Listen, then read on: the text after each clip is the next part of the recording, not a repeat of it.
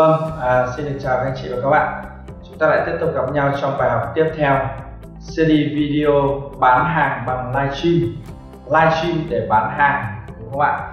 À, hướng dẫn các bạn một số các kỹ thuật cơ bản và những cái kinh nghiệm mà thực tế để các bạn có thể làm livestream tốt hơn và các bạn có thể bán được nhiều hàng hơn từ livestream. Đặc biệt là đối với những bạn chưa bao giờ dùng livestream để bán hàng thì đây chính là những cái hướng dẫn rất là căn bản để các bạn có thể phát triển công việc của mình lên thêm tốt hơn, được chưa ạ?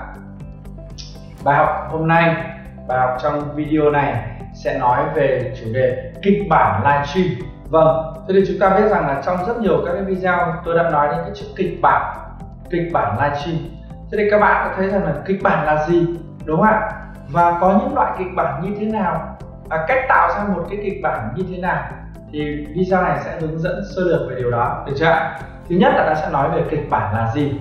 Thì chúng ta sẽ thấy rằng là kịch bản ấy, nó chính là một cái à, nội dung mà chúng ta viết ra chúng ta thiết lập ra theo trình tự thời gian là à, từ giờ này cho tới giờ này thì tôi sẽ nói cái này tôi sẽ quay cái đúc hình này. Từ giờ này cho đến giờ này tôi sẽ nói nội dung này và quay cái đúc hình khác. À, cái kịch bản nó cho chúng ta biết rằng là cái thời lượng chúng ta sẽ sử dụng và từng phần từng phần của cái khối lượng đó và cái cách mà chúng ta sẽ thể hiện ví dụ như là, là người ta gọi là cái định dạng của một cái à, game show hay là định dạng là à, của một cái chương trình truyền hình có đúng không ạ? Thì livestream bản chất ở đây thì nó không khác gì việc là chúng ta dẫn dắt chương trình. Bởi vì livestream có mỗi mình chúng ta là chủ đạo đúng không ạ? Thì chúng ta là mc của chương trình thì chúng ta phải nghĩ ra kịch bản. Thì chúng ta phải nghĩ ra là chúng ta nói cái gì để chúng ta viết vào đấy chúng ta dẫn dắt câu chuyện để chúng ta bán hàng đúng không ạ? Còn FC trên truyền hình ấy, thì họ chỉ tương tác với người xem và theo một cách nguội đúng không ạ? Ý tôi muốn nói là nó không có comment nó không có phản hồi ôi anh phan anh ơi anh dẫn chương trình sai rồi đúng không ạ? Nhưng mà facebook thì khác anh nói sai ngay người ta sẽ vào người ta phản ứng. Anh nói hay người ta sẽ vào người ta khen người ta thả tim ok? Vâng thì cái khái niệm kịch bản đây là tôi muốn nói là nó chính là một cái nội dung mà chúng ta viết ra chúng ta có thể in ấn ra để chúng ta xác định là chúng ta sẽ làm gì trong cái buổi livestream đó trong các số livestream đó các cái bối cảnh cái cái cái format định dạng livestream đó. Các bạn hiểu chưa ạ? Thế thì uh, có bao nhiêu uh, loại kịch bản? Có bao nhiêu loại kịch bản? Thì tôi sẽ hướng dẫn cho các bạn mẫu một số các loại kịch bản đúng không ạ? Thứ nhất kịch bản phổ biến nhất đó là kịch bản livestream bán hàng trực tiếp. Livestream bán hàng trực tiếp là như thế nào? À, thế thì tôi sẽ giới thiệu ví dụ như là tôi bán thời trang đi thì tôi sẽ cứ à, à, xin chào mọi người. À, xin chào các bạn. À chào anh Phan Anh này. Đây là cái áo sơ mi này. Áo này là chất rất là mát màu trắng nhé có size M SML đủ cả này. Sờ rất là sướng giá chỉ có 300 nghìn thôi. Anh Phan Anh mua nhé. Vâng. Chỉ còn ba chiếc duy nhất chỉ còn ba chiếc duy nhất. Vâng mọi người xem đi ạ. À. rất đẹp. Vâng có ai không ạ? Có ai mua không ạ? Áo sơ mi màu trắng à, của Zara còn nguyên tai nguyên kiện nguyên teo mát đây ạ. Chỉ có 300 nghìn sale off rất đẹp. Và hay là à, một cái đôi giày đúng không đây là đây là một đôi giày Adidas. À, à, mẫu này là mẫu gì đó mẫu ABC mẫu chỉ Z đúng không ạ? Giá này mà chưa giảm giá là 2 triệu đồng. Nhưng mà sau khi giảm giá chỉ còn 800 nghìn. Adidas còn nguyên new à, size là chỉ có size 40 thôi. Mọi người có ai xem không ạ? Vâng chỉ có một size duy nhất còn lại hai sản phẩm và đấy đấy, ý tôi muốn nói là cái kịch bản bán hàng trực tiếp là như vậy. Tức là chúng ta vào một cái là chúng ta sẽ giới thiệu sản phẩm, giới thiệu sản phẩm. Chúng ta bán hàng, chúng ta bán hàng. Chúng ta tưởng tượng rằng là phía trước mặt chúng ta là tất cả các khách hàng đang đứng ở cửa hàng của chúng ta và đợi chúng ta tư vấn. Thay vì họ phải đến shop, đúng không ạ? Thay vì phải họ đến shop, thì đây, mình sẽ ngồi mình phải giới thiệu cho họ hết mình phải nói cho họ hết các đặc tính của sản phẩm các tính năng của sản phẩm giá trị của sản phẩm sự bảo hành vân vân. Mình phải thuyết phục khách hàng bằng lời nói bằng hình ảnh bằng video thật là hay thật là hay.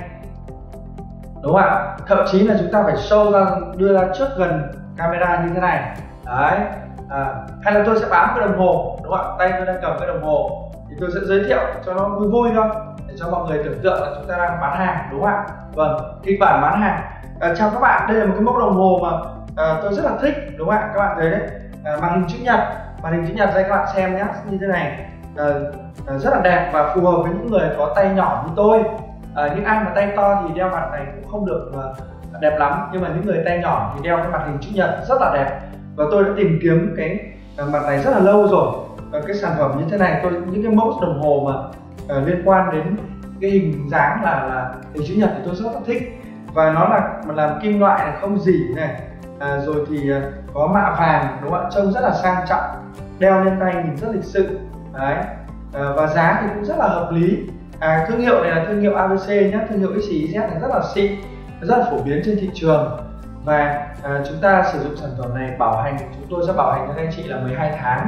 À, pin biết có vấn đề gì chúng tôi sẽ thay cho các anh chị. Và các anh chị có thể qua cửa hàng số 51 Nguyễn Ngọc Vũ đúng không ạ? Đấy là văn phòng công ty PA Marketing tại Hà Nội của à, tôi. Mọi người có thể qua đấy tôi sẽ thay đồng hồ cho mọi người. Được chưa hoặc là mọi người có thể truy cập vào website là pamarketing.vn để xem các chính sách bảo hành về đồng hồ nhé. Hay là mọi người có thể liên hệ với tôi. Đấy số điện thoại của tôi đấy. À, mọi người yên tâm đúng không ạ? Mọi người hoàn toàn yên tâm đi. Tôi là người rất là uy tín tôi không có à, thế này không có thế kia. À đấy. Đấy chính là cách chúng ta sẽ giới thiệu sản phẩm chúng ta cứ giới thiệu giới thiệu cho mọi người thấy đẹp. Đây nhá tôi, sẽ đeo vào tay này mọi người nhìn này. Rất là nhiều người nhìn thấy tôi đeo cái đồng hồ này và khen là là tôi ờ, tôi đeo đẹp. Bởi vì à, tôi biết là tay tôi nó nhỏ không không quá to nên đeo một cái mặt hình chữ nhật thế này. Tôi rất là thích đeo cái đồng hồ mặt chữ nhật. Thế còn những cái đồng hồ mặt tròn mà à, dày và trông rất là hầm hố thì nó không phù hợp với tôi. Tôi lại chọn cái trông nó nhỏ nhắn một chút chút. Hình chữ nhật là tôi thích đấy và trông nó sang trọng nhẹ nhàng đơn giản à, phù hợp với tính cách của tôi. Là những bạn mà có cái gu giống như tôi thì có thể lựa chọn sản phẩm như vậy. Ok thế thì tôi vừa cho các bạn xem ba cái mẫu ví dụ là chúng ta sẽ live stream để bán các sản phẩm. Live stream để bán các sản phẩm một cách trực tiếp. Chúng ta cứ thao thao bất tuyệt chúng ta cứ nói.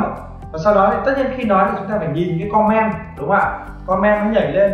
Ô cái này bao tiền? Ô cái này là uh, có thay pin hay không? Đúng không ạ? Hay là uh, cái này là hàng uh, sách tay hay là hàng nhập khẩu đấy anh? Thì bắt đầu mình lại tìm các câu hỏi để mình trả lời. Ô cái này nhé là hàng của anh là hàng nhập khẩu có giấy tờ em nhé công ty anh là phân phối trực tiếp. Đấy hay là cái này anh sách tay từ mỹ về. Hay hôm vừa rồi anh đi du lịch ở châu Âu anh vừa sách về có bill đầy đủ em ạ. À, em yên tâm đi. Em tên là gì em có muốn lấy không? Thì anh sẽ trả lời. Thì chúng ta sẽ liên tục liên tục chúng ta sẽ nhặt những cái comment chúng ta tương tác.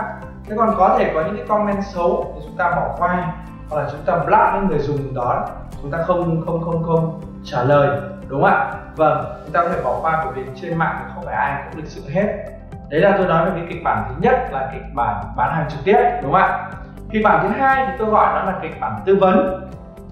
Tức là ví dụ như các bạn bán mỹ phẩm các bạn bán thực phẩm chức năng các bạn bán uh, quần áo thời trang đấy. À, thế thì nói một chút sâu hơn về mỹ phẩm đi.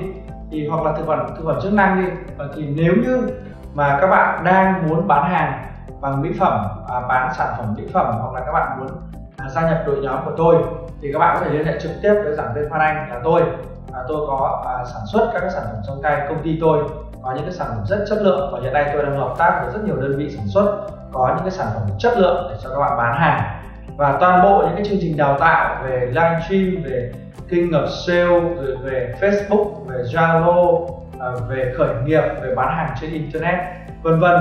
Thì tôi đều có thể hướng dẫn cho các bạn qua những cái video và qua các buổi livestream trực tiếp đào tạo, hoặc là qua các cái buổi đào tạo dắt tay chỉ việc tại lớp, đúng không? Thế đấy. Thế thì cái cái kịch bản tư vấn tức là gì?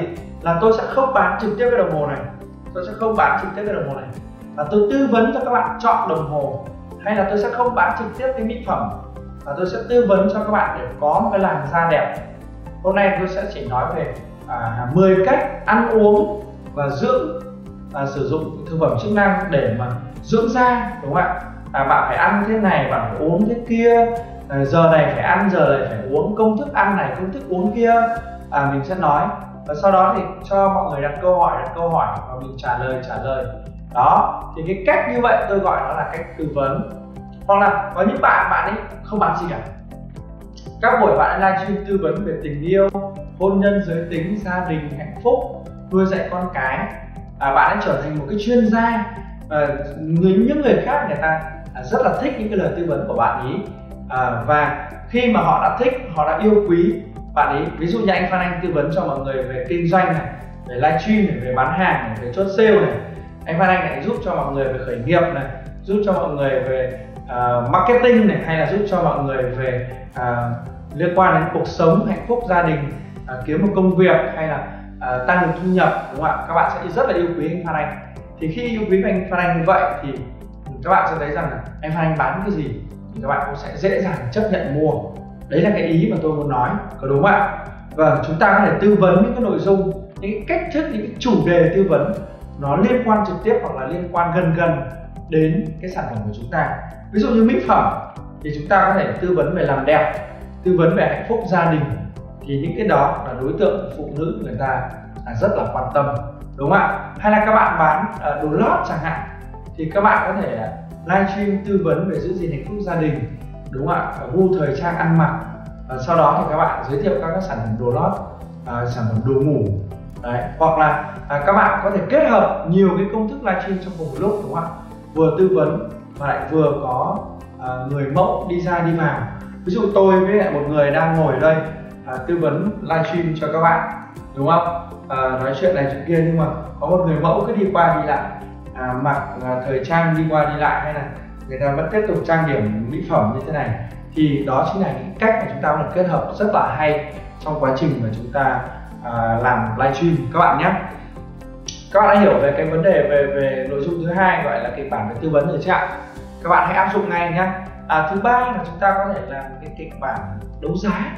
Vâng đấu giá thì nó sẽ có hai loại là đấu giá lên và đấu giá xuống. À, đấu giá lên tức là gì? Giá sẽ tăng lên đấu giá xuống tức là giá sẽ đi xuống. Thế thì à, chúng ta sẽ chơi cái bài là đấu giá đi lên đúng không ạ? Ví dụ như là chúng ta chọn những cái sản phẩm và cho phép khách hàng tranh nhau mua tranh nhau mua chúng ta sẽ thiết lập mức giá là 10.000, 20.000, 50.000 tùy.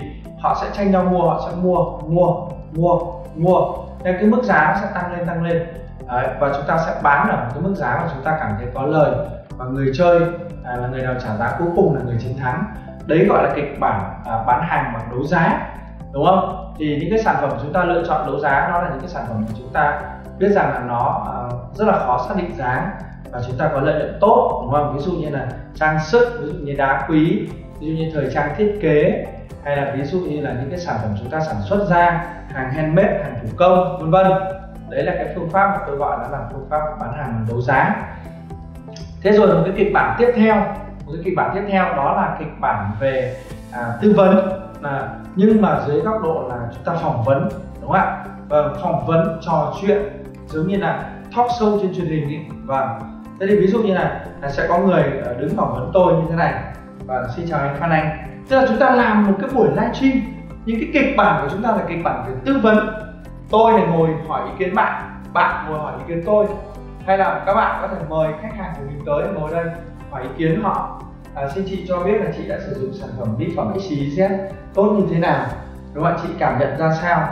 À, chị cách chị dùng như nào? Vân vân. Đấy. Thế thì đấy gọi là một cái kịch bản mà tôi gọi nó là à, kịch bản phỏng vấn dưới cái dạng là chúng ta sẽ đưa ra các lời tư vấn của các chuyên gia đúng không ạ? À, hay là lúc đấy là các bạn sẽ đặt câu hỏi là xin mời các bạn hãy đặt câu hỏi cho chuyên gia. Thế bình thường là tôi có một mình thôi thì đấy là tôi sẽ tự tư vấn cho các bạn. Nhưng bây giờ là sẽ có một bạn mc và đang vâng xin mời uh, bạn Tuấn Anh à, đặt câu hỏi cho thầy Phan Anh. Vâng. À, xin mời bạn Lan Anh đặt câu hỏi cho thầy Phan Anh. Thế thì đấy là cái giống như chúng ta nhìn thấy ở trên truyền hình ấy à, MC sẽ hỏi và chuyên gia sẽ trả lời. Kịch bản đấy cũng là kịch bản tư vấn nhưng mà à, tôi gọi nó là kịch bản phỏng vấn. À, chuyên gia thì sẽ chính xác hơn đúng không ạ? Và à, các lời à, câu chuyện chia sẻ đều là các câu chuyện về tư vấn. Đấy. Thế rồi thì chúng ta có thể quay livestream kịch bản hậu trường.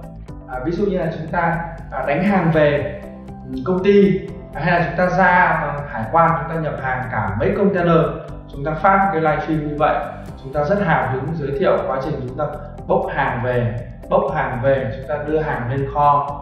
Đúng không ạ? Chúng ta thấy là chúng ta rất nhiều hàng. Và họ biết rằng là công ty chúng ta làm ăn rất là lớn làm ăn rất là uy tín. Thì họ sẽ dễ dàng chấp nhận hơn. Đấy là à, có rất nhiều các kịch bản hậu trường tốt. À, đấy. Hoặc là kịch bản tiết lộ đúng không ạ? Những kịch bản tiết lộ bí quyết. Giống như là có một cái series truyền hình mà người ta chuyên tiết lộ những cái bí mật của nghề gọi là nghề ảo thuật. Và một cái series chuyên là tiết lộ các bí mật các cái thủ thuật nhà nghề của lĩnh vực ảo thuật. Thì đấy là gọi là chúng ta sẽ à, chuyên đi à, tiết lộ các bí mật. Thì cái đấy cũng rất là hay. Và một cái kịch bản nữa là chúng ta có thể tham khảo đấy là kịch bản à, dưới dạng là TV shopping. À, chúng ta hãy xem các kênh à, như là kênh VTV Hyundai này kênh TVC à, TV shopping này. Đấy, có một số kênh bán hàng trên truyền hình. Thì họ làm rất là hay đúng không ạ? Trước mặt trước mặt tôi như này. À, họ để nồi niêu son chảo bát đĩa à, hay là máy xay sinh tố hay là điện thoại di động hay máy ipad gì đó. Tất cả những cái sản phẩm mà họ bán đúng không họ bày ra đây luôn. Đấy, nên chúng ta sẽ giới thiệu à, sản phẩm như thế này. Nấu ăn như thế kia à, xay đúng không ạ? Ví dụ như là máy xay thì tôi sẽ cho vào tôi xay tôi sẽ xay tôi sẽ đổ nước ra tôi uống. Thì đó cái kịch bản như vậy cũng cũng gần gần gọi là kịch bản bán hàng trực tiếp. Nhưng mà mình mình mình tôi gọi nó là cái kịch bản mà TV shopping tức là cách chúng ta làm chuyên nghiệp hơn một chút cầu kỳ hơn một chút. À, chúng ta bán đồ gia dụng thì chúng ta sẽ xay chúng ta sẽ nấu à, chúng ta sẽ có người tương tác người thuyết trình thậm chí vẫn có cả mc nữa. Rất là tốt đấy. Thì chúng ta nên nên xem nhá nên xem những cái kịch bản như vậy. Hoặc là chúng ta có thể có những cái kịch bản talk show tức là trò chuyện à, kịch bản walking tức là chúng ta có thể vừa đi vừa đi đường vừa nói chuyện. À, thế rồi chúng ta cũng có những cái à, kịch bản mà chúng ta à, trò chuyện với mọi người. Ở dưới góc độ là chúng ta có thể tiết lộ những cái bí mật à, nói về những cái cuốn sách nói về những cái à, chuyện đời tư. À, thậm chí có những bạn livestream chỉ tặng quà tặng quà. Có những cái số đặc biệt. À, cái kịch bản tặng quà tức là chỉ tặng mà không bán hàng ờ, và ép xe đúng không ạ? Xe liên tục xe liên tục. Thì tôi biết là có những bạn bạn làm như thế có một số của bạn ấy có thể lên đến 5.000 xe 10.000 xe tức là chia sẻ đấy rất là tốt. Thì sau đó thì mình sẽ dần dần mình lại kiếm được tiền từ chính những cái share đó bởi vì chúng ta lại có thêm follow có thêm follow chúng ta lại bán được hàng. Và hàng chúng ta tặng đi cũng phải là hàng rất là tử tế và chất lượng đúng không ạ? À, thì đấy là tôi nói là một số các cái kịch bản một số các kịch bản mà chúng ta có thể tham khảo là chúng ta áp dụng đúng không ạ à, thì chúng ta làm một mình hay là làm hai mình hay nhiều mình chúng ta làm phỏng vấn hay là chúng ta làm đấu giá chúng ta làm bán hàng hay chúng ta làm tư vấn à, chúng ta làm hậu trường hay là làm chính à, cái cái cái à, sân khấu chính của chúng ta à, chúng ta độc thoại hay chúng ta làm talk show hay thậm chí là chúng ta có thể à, hội thoại nhóm có khoảng năm bảy người chúng ta cùng livestream không có vấn đề gì cả. Và chúng ta có thể là sản xuất các cái video chuyên nghiệp để chúng ta livestream nguội bằng phần mềm. Thì tôi sẽ có một cái bài học khác hướng dẫn các bạn livestream nguội bằng phần mềm. Tức là chúng ta quay ra các video đấy sau đó chúng ta phát livestream bằng phần mềm đó. À, tôi sẽ hướng dẫn cho các bạn được chưa như vậy nội dung thứ hai trong bài học này tức là một số kịch bản livestream. Các bạn đã biết được biết rồi. Thế bây giờ cái nội dung thứ ba là à, làm thế nào để xây dựng được kịch bản? Đúng không? Thế thì chúng ta sẽ tạo ra một cái bản bản Word hoặc là bản Excel. Bản Word hoặc bản Excel. Đây, chúng ta sẽ xác định là một tuần là có 7 ngày thì chúng ta livestream 7 số. Mỗi ngày một số hay là 14 số mỗi ngày hai số. Xác định là một tuần làm 7 ngày này. Một ngày làm một đến hai số hay là ba số này. Đấy, sau đó chúng ta sẽ đánh số từ 1 cho tới n. Đúng không ạ? Nhân lên thành à, tháng. Đấy, sau đó thì số 1 chúng ta làm gì số 2 chúng ta làm gì số 3 chúng ta làm gì sau đó chúng ta đã viết kịch bản từng số đúng không ạ thì trong một tháng chúng ta cũng không nên thay đổi quá nhiều cái định dạng kịch bản à, chúng ta sẽ phổ biến là chúng ta vẫn sẽ à, livestream bán trực tiếp chúng ta vẫn có thể trò chuyện chúng ta vẫn có thể talk show chúng ta cũng có thể phỏng vấn interview đúng không ạ chúng ta cũng có thể là à, đi khảo khảo sát thị trường Đấy, hoặc là chúng ta có thể livestream mọi thứ chúng ta muốn. À, ngoài những cái những cái phần mà chúng ta livestream bán hàng trực tiếp để tăng sự hấp dẫn tăng sự hấp dẫn cho bản thân chúng ta. Thế sau đó thì chúng ta sẽ viết ra kịch bản trong bản Word đấy. Là từ giờ này chúng ta chia thành cái độ 15 cho đến 30 phút một. À, ví dụ như là từ giờ này đến giờ này thì tôi sẽ làm gì? Viết mô tả chi tiết ra kết quả đạt được đấy. thậm chí lời thoại tôi cũng phải viết ra các bạn thấy đấy các mc chúng ta người ta viết là vâng xin chào anh chị xin chào quý vị đúng không ạ? À, tôi là thế này tôi là thế kia à, trong một cái không khí hân hoan như thế này à, chúng tôi xin chào đón ông A và B. À, chúng tôi thế này chúng tôi khác. Thì rõ ràng chúng ta nhìn thấy MC là họ phải nhìn vào à, kịch bản họ phải nhìn vào lời thoại thì họ mới nói được. Hoặc là à, chương trình truyền hình thì họ cũng phải nhìn vào cái cái nhắc lời. Chỉ có tôi như thế này không biết là những người khác thì có có, có làm như vậy hay không thì tôi không rõ nhưng mà riêng tôi thì thì ờ, quay là không cần nhìn cái gì cả. À, chỉ có cứ thế là nhìn vào camera là nói thôi cũng chẳng cần phải chuẩn bị tách chẳng bị kịch bản gì nhiều chỉ đưa ra mấy cái gạch đầu dòng đi nhớ trong đầu. Nhưng tất cả những cái người khác thì à, do yêu cầu công việc kịch bản mc rồi thì họ làm các cái số chương trình truyền hình liên tục họ không thể nhớ được hết đúng không ạ? Thì phải có lời thoại lời thoại nhắc cho họ có máy nhắc chữ đấy, giống như là tổng thống mỹ donald trump hay obama đều sử dụng cái máy nhắc chữ như vậy để họ nói thế thì chúng ta cũng có thể sử dụng như vậy đúng không ạ khi chúng ta livestream thì có một cái điện thoại chiếu vào chúng ta thôi thế thì cái ipad chúng ta để bên cạnh chúng ta nhìn cái ipad chúng ta gẩy lên gẩy lên gẩy lên chúng ta xem chúng ta chuẩn bị sẵn các kịch bản ra thậm chí chúng ta in ra giấy để trên bàn như thế này và chúng ta xem không ai biết được cả đúng không Đấy, thậm chí là chúng ta còn phải sử dụng cả những nick ảo để chúng ta vào chúng ta comment tự chúng ta đặt câu hỏi. Vì nếu mà đợi người khác đặt câu hỏi lâu quá thì tự chúng ta đặt câu hỏi và chúng ta lại có kịch bản trả lời rồi nên chúng ta lại trả lời trả lời. Thế nên mọi người sẽ thấy rất là hay thì mọi người sẽ xem xem xem dần dần đi lên. Đó. Đấy là ý nghĩa của việc là tại sao chúng ta phải tạo ra kịch bản. Thì cứ chia 15 30 phút một à, nội dung text viết cái gì nói cái gì chơi trò chơi nào à, đấy, cách thức hô hào ra sao? Viết sẵn ra nếu mà mình không biết nói. Sau đó là tập nói đúng không ạ tập nói trước điện thoại tập nói trước gương. À, tự tưởng tượng ra mọi người đang phỏng vấn mọi người đang hỏi mình đang comment với mình. Hay mình nói thì lần một lần hai lần ba nó bỡ ngỡ. Không sao cả lần 4 lần 5 nó sẽ tốt hơn. Lần 10 lần 20 lần thứ 100 nó sẽ tốt đúng không ạ? Quan trọng là chúng ta uh, không sợ thất bại và chúng ta muốn làm điều đó thì đó là cái phần mà tôi muốn trình bày với các bạn một số những cái ý cơ bản về việc là xây dựng các kịch bản livestream để bán hàng. À, các bạn hãy tạo cho mình kết quả của cái video này. Đó chính là các bạn sẽ có trong tay các kịch bản chi tiết. Thì tôi cũng sẽ trình bày với các bạn một cái kịch bản liên quan đến đấu giá chi tiết như thế nào để các bạn tham khảo nha. Một lần nữa xin được cảm ơn các bạn đã theo dõi video này. Xin chào và hẹn gặp lại các bạn trong các video tiếp theo. Cảm ơn các bạn rất nhiều.